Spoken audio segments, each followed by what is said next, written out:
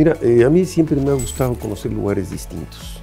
A mí siempre me ha gustado ponerme retos personales de lugares que, representen un, atractivo, en donde por lo pronto a mí me gusta que haya cambio de clima, cambio de idioma, cambio de cultura. Y en este caso, Azerbaiyán, que es un lugar donde estuve, luego estuve en Irán y luego en Turquía, son tres países que tienen un sistema político muy rígido, con una autoridad muy fuerte. Son tres países que tienen una religión eh, islámica en distinto grado de, eh, vamos a llamar, de, fuerza aplicada a la sociedad y son tres países que tienen una actividad económica importante, dos de ellos poderosamente vinculados con el petróleo, ¿no? Azerbaiyán y por supuesto Irán. Y el hecho de ver cómo funciona un país con una fusión entre un uh, líder autoritario fusionado con la uh, decisión religiosa muy moralista, ¿verdad? Y un sistema político que tiene visos democráticos. Pues es interesante ver este proceso, ¿no?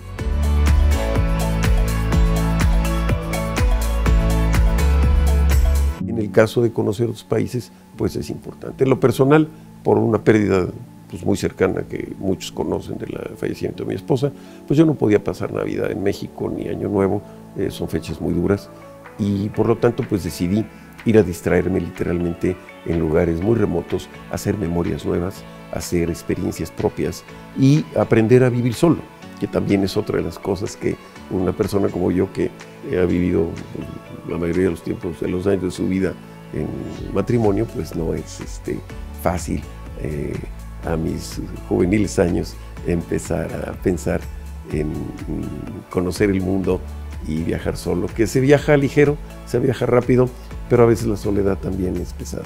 En esta época que la vida me ha impuesto involuntariamente esta nueva soledad, eh, una terapia ocupacional es el viaje. Y sí, en este año, este, después que enviudé, estuve en Inglaterra varias semanas, estuve en Perú, este, y ahora estuve en esta parte de, de Turquía, Azerbaiyán y Irán. Y pues hay todavía otros 191 países en el mundo que ojalá pueda uno conocer algunos más.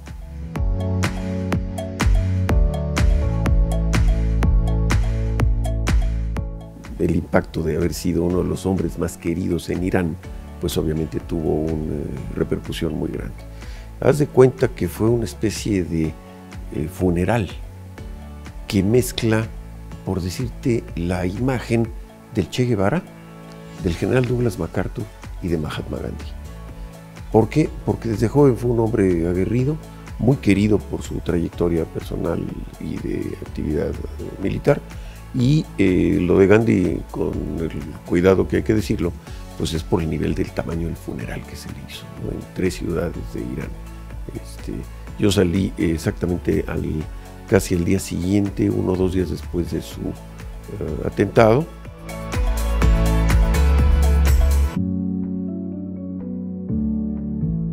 Definitivamente es, es, interesante ver un país que está uh, gobernado por un sistema religioso y un sistema político fusionados, en donde las jerarquías de decisión religiosa moral están eh, establecidas como un comportamiento que eh, define las relaciones jurídicas, las libertades sociales, eh, los uh, hechos morales que puedan o no regir la vida de los ciudadanos. Pero antes de eso yo vi un país en paz, un país alegre, un país amigable, un país altamente ordenado, un país con una infraestructura carretera y de, urbanización envidiable. Recorrí más de 900 kilómetros desde Shiraz hasta Teherán, eh, en distintos sitios espectaculares. Y la verdad, lo único que puedo decir es que siento una gran envidia por la calidad de los pavimentos que tienen las carreteras de Irán, por la elegancia que tienen sus ciudades y porque en esos 900 kilómetros no me tocó un bache. La magnificencia de la construcción. Lo que vemos es que no tienen miedo a la grandeza. Hay construcciones hechas con un espíritu de grandeza, mezquitas, palacios, mausoleos que tienen una dimensión humana extraordinaria. Y eh, quiero nada más hacer la referencia quizá a la mezquita de Com. Com es una ciudad que es una ciudad sagrada, es una ciudad que es eh, una ciudad de culto, culto religioso muy importante. Más de 25 millones de peregrinos de todo el mundo visitan Com y tiene, entre otras cosas, además de una espectacular mausoleo y su bellísima arcada de, la, de las mezquitas, con una, todas con unos mosaicos hechos, es profeso, con una calidad aritmética y una precisión matemática en su construcción que es sorprendente. Viven en gran armonía y con una... Yo, yo no vi en un momento dado una persona molesta en la calle, una persona agresiva, una persona, un problema de tráfico hostil. Eh, la verdad, eh, en todos los días que estuve fue, vi una sociedad armónica, una sociedad respetuosa, respetuosa entre sí, respetuosa del visitante y evidentemente con una actividad económica que a pesar de las limitaciones que impone Estados Unidos, vemos que tiene una pujanza económica importante.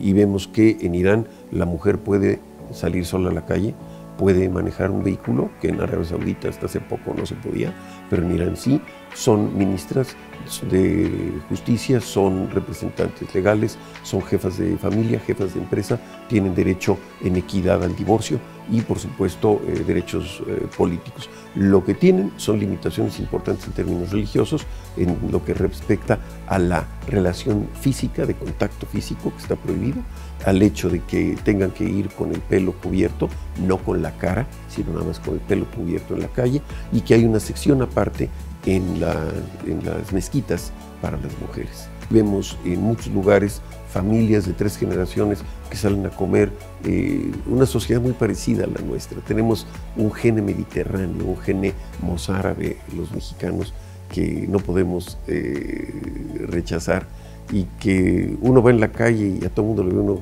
cara de gente conocida. Primero, como es una república islámica, está prohibido el alcohol y por lo tanto en ningún lugar hay, hay oferta de bebidas alcohólicas.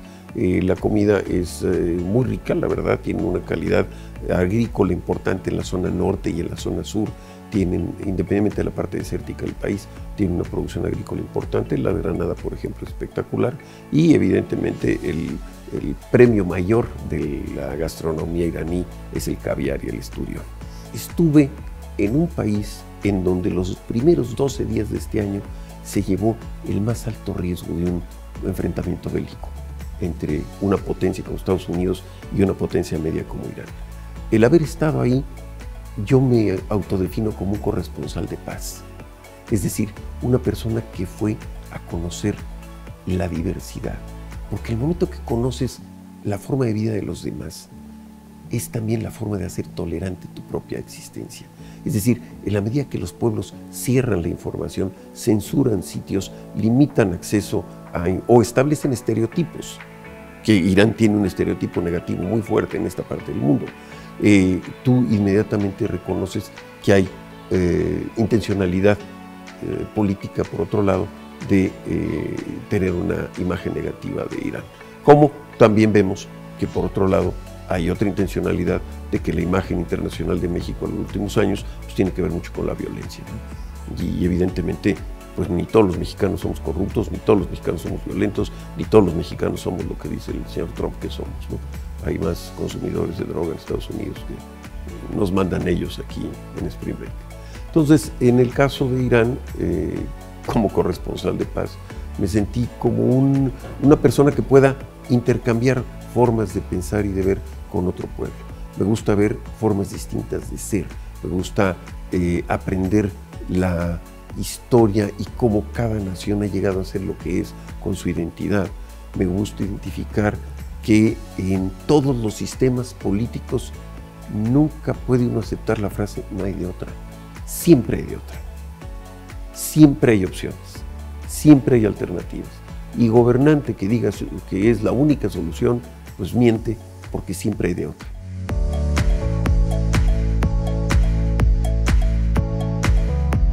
En la medida que conoces distintas partes del mundo, también te conoces tú, conoces tus limitaciones, conoces tus capacidades, conoces la fuerza de, tu carácter, de tu voluntad, de tu entereza, conoces también mucho de lo que eres capaz de atreverte a hacer.